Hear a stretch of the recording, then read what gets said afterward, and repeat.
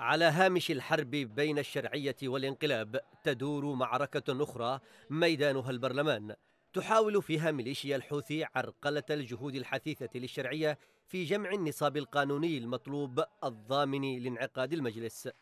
مصادر برلمانية أفادت عن قيام الحوثي بتهديد ما يقارب ثلاثين عضوا برلمانيا يقيمون بصنعاء. وأكدت تلك المصادر لوسائل إعلامية بأن التهديد شمل القتل وتفجير المنازل.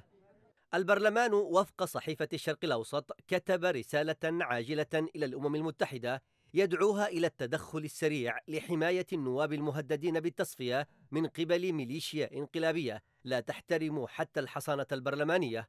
وقالت الصحيفة إن نائب رئيس البرلمان محمد الشدادي طالب في لقائه المبعوث الأممي بالضغط على الميليشيا لإعطاء النواب الحرية للبقاء في صنعاء أو تركها. كانت الحكومة قد بذلت جهودا كبيرة من أجل لم شمل البيت البرلماني في إطار الشرعية إلا أنها فشلت في عقد جلسة نهاية العام الماضي. وفي الوقت الذي أعاد فيه الشدادي أسباب عدم انعقاد الجلسة إلى أمور أمنية ولوجستية إلا أن مصادر مقربة أكدت وجود اشتراطات سعودية إماراتية أخرت انعقاد البرلمان.